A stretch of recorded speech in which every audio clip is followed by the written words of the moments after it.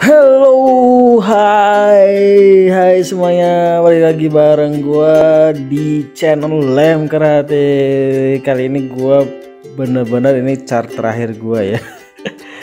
Jadi eh, kemarin gue sempat gonta ganti chart dan ini chart terakhir gua untuk chart yang eh, chart gua sebelumnya FW itu bakal tidak akan bisa gua pakai lagi. Nah, eh, pada video ini gua bakal ngebahas tentang CP ya jadi ini video ini pasti udah banyak kreator-kreator lain yang bikin bagaimana cara upgrade CP but gue bakal bikin video versi gue ya. Bagaimana cara gue upgrade CP gue lumayan konstan ya dengan gue yang mainnya casual ya. Casual. Gue lumayan konstan mungkin seminggu sekali itu gue uh, naik itu mungkin sekitar 100 ya 100 atau lebihan itu lumayan banget dan gua pemain casual. Jadi buat kalian yang bareng gua ya casual. Casual di sini maksud gua adalah kita RNG lover ya. Kita RNG lover kita top up tapi nggak terlalu banyak. Ini contohnya gue juga top up ya. Jadi gue punya white pearl.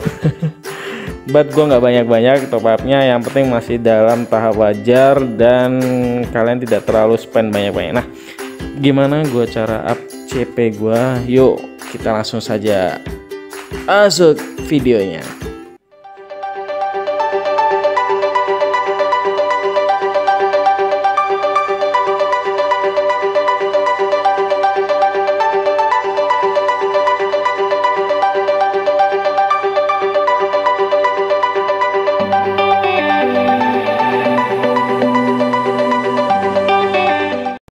gue balik lagi dengan char giant gue ya. Ini kebetulan uh, sub kelas gue nah sekarang gue bakal nunjukin apa sih yang nunjuk apa sih yang uh, up CP ya. Apa sih yang membuat mempengaruhi CP kalian. Sehingga nggak akan ada pertanyaan misal level segini ini CP nya segini itu pas atau enggak ya bang ya? Itu sangat uh, klise lah pertanyaan seperti itu. Nah apa aja sih sebenarnya? Uh, sebenarnya simpel banget seperti mungkin yang kreator lain udah pernah sampaikan juga. Jadi uh, untuk up CP itu yang paling utama itu misalnya contohnya gue baru level 50 ya. Bisa kalian cek ini gue level 50 gue sambil hunting aja ya kalau enggak uh, jadi gue bakal hunting. Jadi yang pasti adalah equip. Kalau menurut gue equip equip adalah paling paling utama ya. Kalian level kecil kalau equip kalian bagus atau gear kalian bagus itu kalian bisa boost CP kalian jadi makin merah ya makin merah CP kalian makin bagus atau makin cepat untuk naiknya. Untuk dapetin merah gampang lah ya kalian bisa lihat di video gua yaitu via Sakato ataupun via drop via fill. Nah lalu apa aja sih yang bisa ningkatin CP lagi yang mempengaruhi CP ya selain dari gear?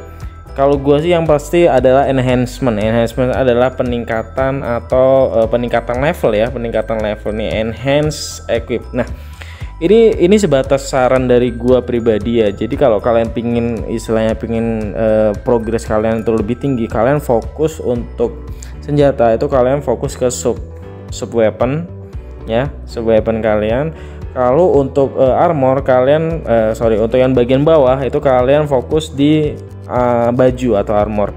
Karena itu nambah nambah CP nya itu lebih banyak daripada yang lain kalian fokusin itu dua dan kalian mentokin baru nanti akan nambah ya.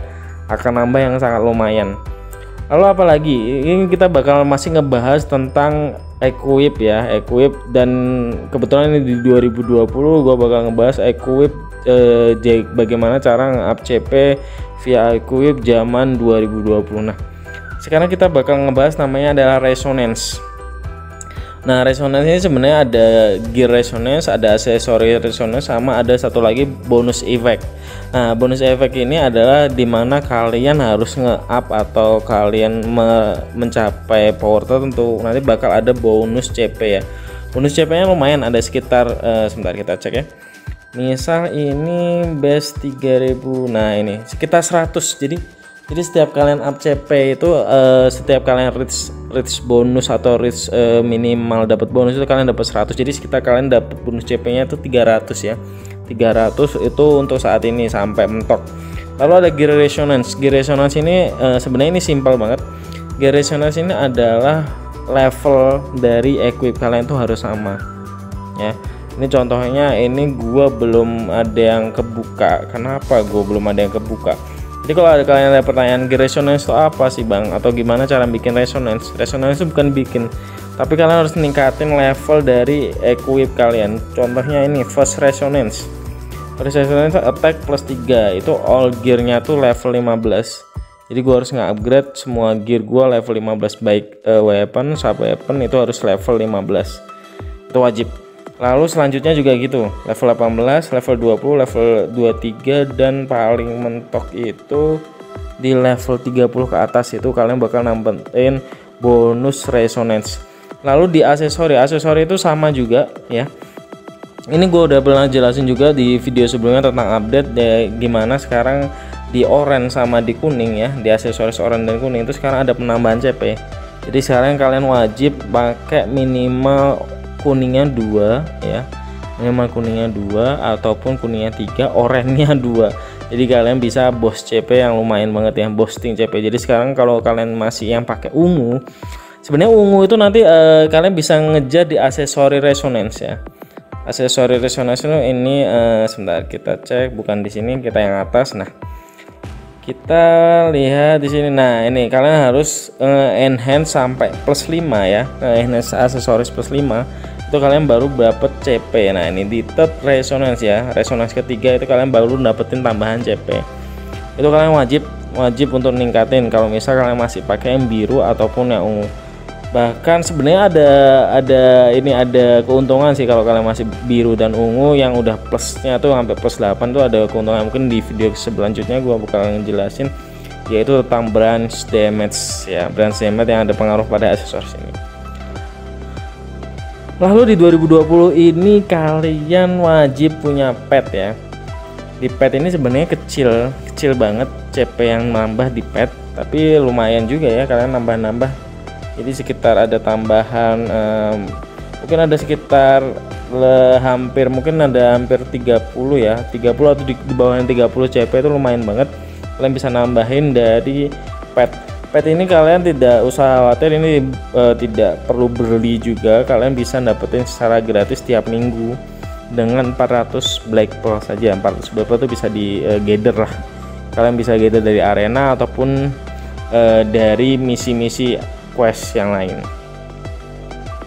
Lalu apalagi sih yang bisa ningkatin CP kalian ya? Kalau gua ini biasanya eh, gua ini sebenarnya bakal ada update-update mungkin selanjutnya yaitu ada di collection.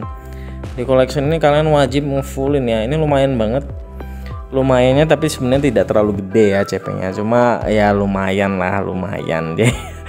Jadi sekitar ada mungkin sekitar 10 sampai 15 CP yang bisa kalian dapetin kalau kalian ngelengkapin collection ini.